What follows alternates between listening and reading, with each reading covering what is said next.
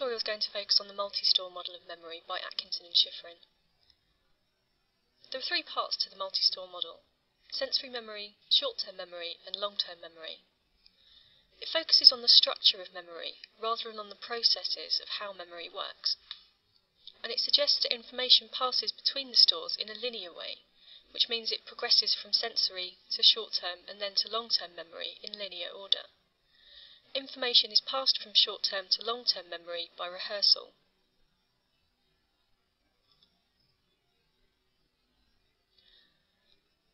Sensory memory can be seen as a short duration store. It encodes mainly visual information, an iconic store, and auditory information, or the echoic store. Supporting evidence for sensory memory comes from Sperling, who tested the capacity and duration of sensory memory. He showed participants a grid of numbers and letters for less than a second.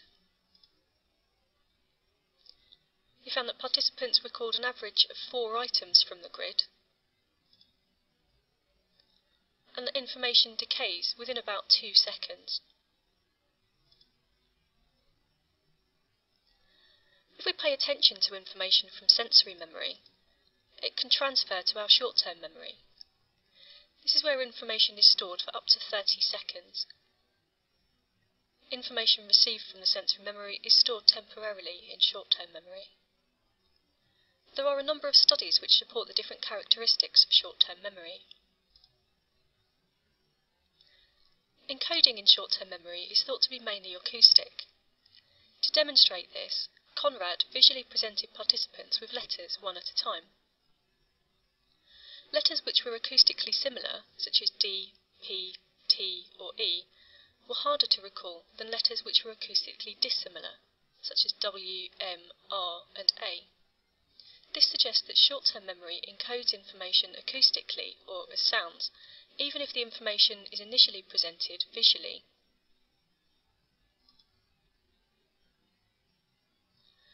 Short-term memory also has a very limited capacity. In 1887, Jacobs experimented with the capacity of short-term memory by presenting participants with increasingly longer lists of numbers, called the digit span technique. He found that people could remember a maximum of nine items. Miller later reviewed studies on the capacity of short-term memory and concluded that the capacity is the magic number 7 plus or minus 2, e.g. between 5 and 9 items. This can be increased by chunking.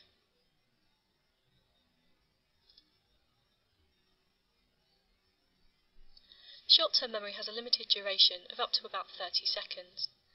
To study this, Peterson and Peterson read nonsense trigrams to participants, and then asked them to count backwards in threes from a large number for between 3 and 18 seconds. This was to prevent them from being able to rehearse the information.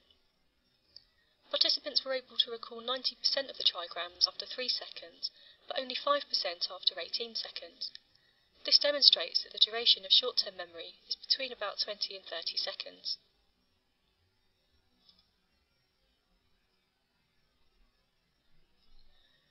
A process of maintenance rehearsal is used to keep information topped up in short-term memory.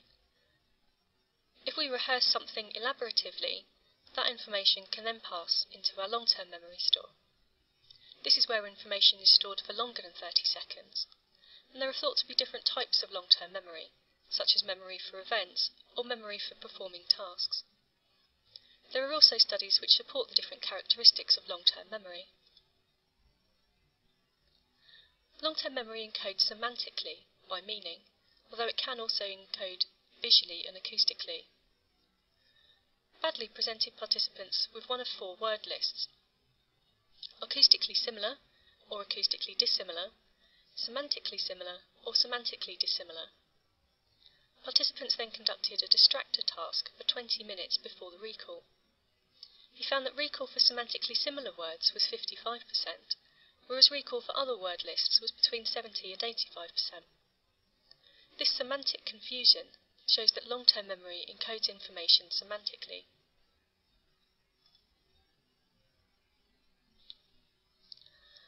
The capacity of long-term memory is potentially unlimited and has mainly been studied using diary techniques. For example, Linton created a diary over the course of six years, which detailed 5,500 personal events. Every month she tested herself for recognition of these events, and that she was able to accurately recall the details of dates for events. This suggests that the capacity of long-term memory is very large.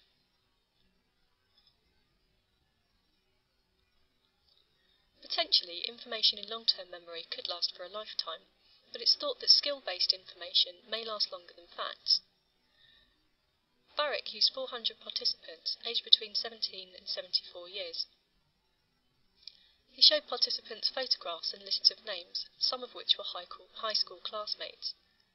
Participants who'd left high school in the last 15 years were able to recall 90% of faces and names, and participants who'd left high school 48 years ago could recall 80% of names and 70% of faces.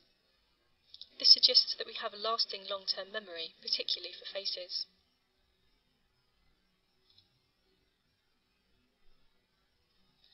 Now we've looked at an overview of Atkinson and Shiffrin's model, let's have a look at some strengths and weaknesses of the model. One of the first strengths was that the multi-store model was very influential and has prompted a great deal of further research into memory. It's also paved the way for later memory models, such as the working memory model by Baddeley and Hitch. The case study of Clive Wearing supports the multi-store model as well. Clive's short-term memory was damaged as a result of illness, but much of his long-term memory remains intact. This supports the existence of separate memory stores for short-term and long-term memory. More supporting evidence comes from the serial position effect. Words from the beginning of a list are remembered because they are stored in long-term memory. This is called the primacy effect. Words from the end of a list are remembered because they are stored in short-term memory, and this is known as the recency effect. This also demonstrates the existence of two separate stores. There are also a large number of research studies, some of which we've just looked at, which provide evidence for the different characteristics of sensory memory, short-term memory, and long-term memory.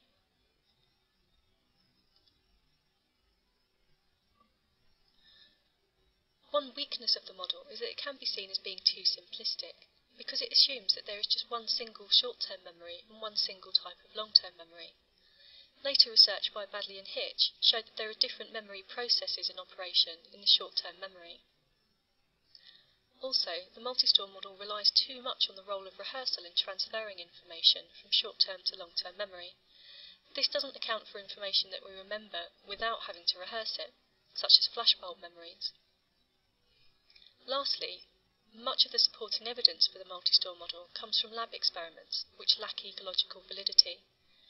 Tasks such as having to remember nonsense trigrams have very little bearing on everyday memory, and so the results from these studies cannot really be generalized.